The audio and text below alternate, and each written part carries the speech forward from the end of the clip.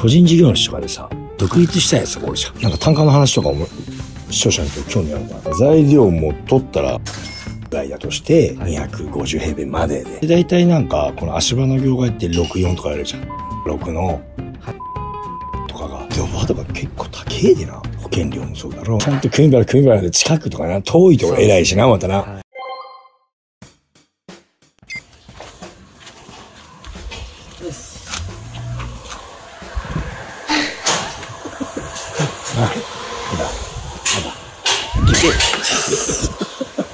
なんだ。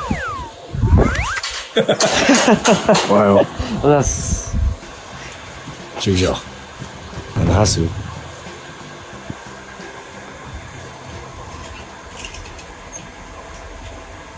カメラマンいないでやりづらい。俺もやりづらいんだよ、案外やりづらいんだよ。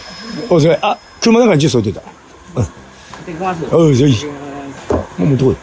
飲みながらでいいよ。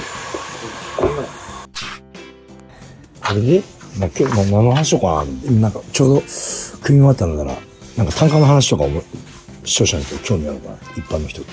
この現場はそうか。法改正後の作業所が2メーター以上じゃないでこれ組んでないんか。そうですね。普段だったら組んでるの？普段だったら。もう一回、もう一回、もう一回いいですか？ダメ、今のやつ使う。なんかお前がインチキ臭い感じ。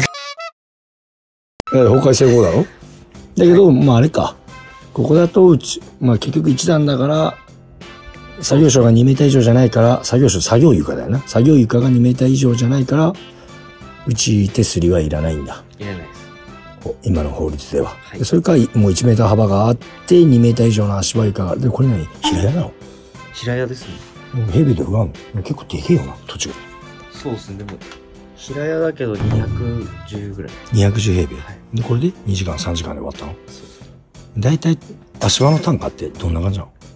まあ一般の人、まあ職人さん大体わかるのかな？まあ従業員とかだったらわかるのか知らんけど、個人事業主とかでさ、独立したやつがおるじゃん。はい。でそういう奴らって、単価どれぐらいでどれぐらいもんか、トラック1台買って、手間受け？よくあるじゃん。今いろんな会社でさ、実習生を預かって、まあ給料でし社員に一応しとるんだけど、受けみたいなので、手間受けみたいにして、材料は会社持ち、手間受けみたいなことが結構おるやん。いますね。そういう子探しとんだろ、うち。そういう子来てくださいよ、塗り替え道場ね。もうお前よりそうですね。でも本当人手が足りてねえもんで、大きい物件で、女優で来てくれる人もいいけど、まあ、それ手間受けで現場任せれる子が欲しいよな。まあ、それはいいんだけどさ、その、そういう子たちのために、まあ、単価の話をちょっとしてほしいわ。これ1個受けるとどれぐらいなのお客さんから受けると。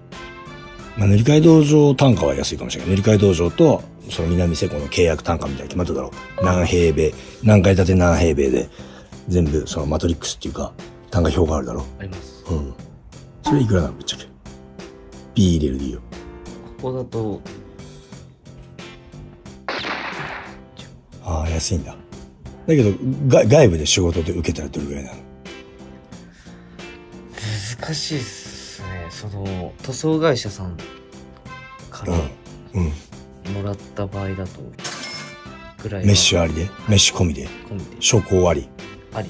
そうですね。で、300超えると、もうちょっと、高さがあるとちょっとあるかな。高さも関係してくるですね。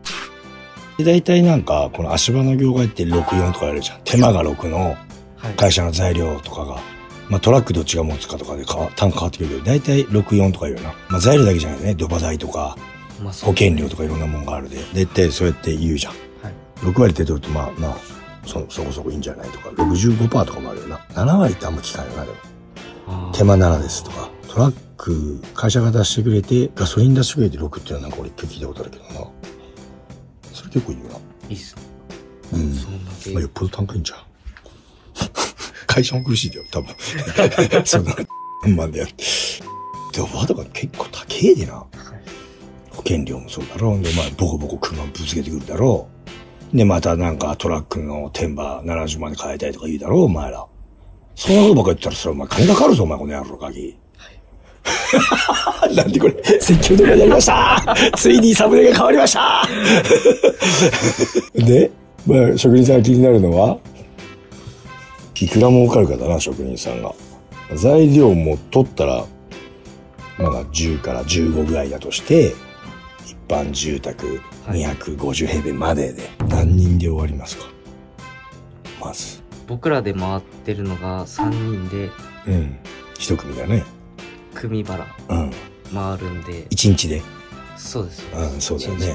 組バラバラはいかないの？まれに10年前だったら普通、10年前じゃない、15年ぐらいで普通やってるから、俺ら。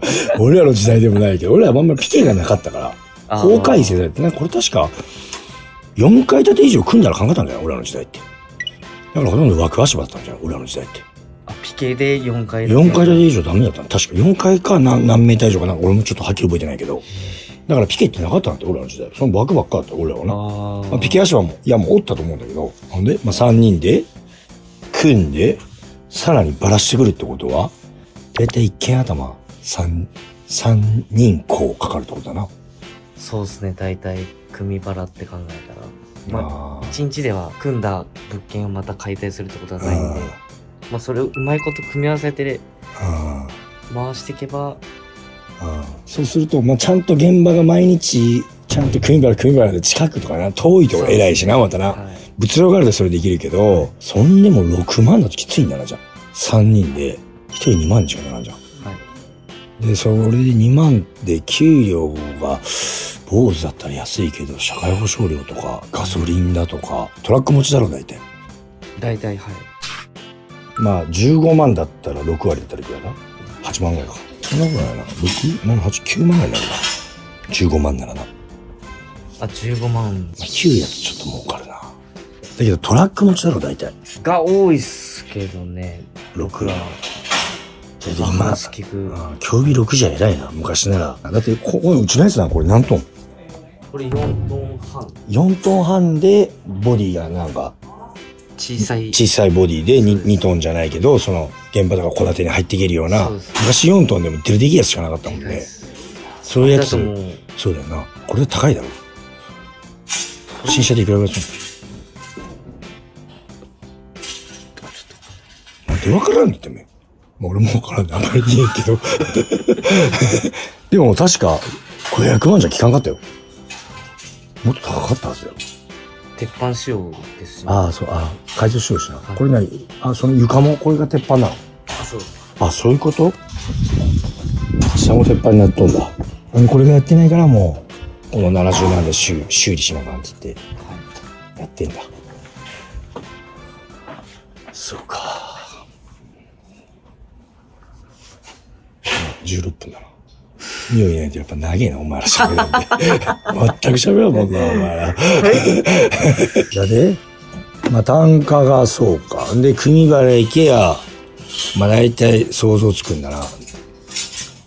まあ大体はいまあそうだよな。で、ここででもな何時で終わったの？まあでも昼までで終わるんか。そうですね大体12時前だ。何時？スタート ?8 時半スタート。8時半スターまあ、ひ低いでな。高さがあるとな、間に材料上げるのに金かかるでな。時間かかるでな。高さが高くなればその分人も人入れやないしな。パッパパッパやれんでな。材料運んでペーって置いといて、ダーってケツから組んでいくってわけにいかんでな。そうですねまあ、いいとこに入ればいいな。ある程度規模があると近いとか、ね戸建てばっかりとかだといいじゃん。戸建てで1日10棟とかある会社だったらさ、はい結局近い現場が出てくるわけじゃん。結構。あそのそうそうそうそうそう。でも、1日2棟しかないとさ、組組の日もあれば、そうですねそうすると1チームで行けんわけやん。